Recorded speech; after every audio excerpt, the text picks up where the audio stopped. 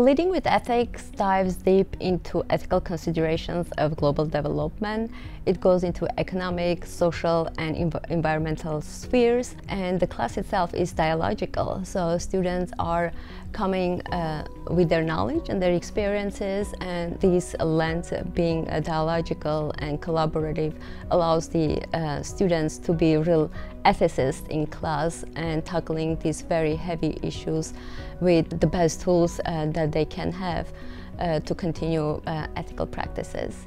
Students that can benefit uh, from this course would be students who actually love ethics and professionalism, sustainable development, and uh, appreciate and acknowledge social justice and equity, and would like to use ethics in their professional or academic uh, uh, future.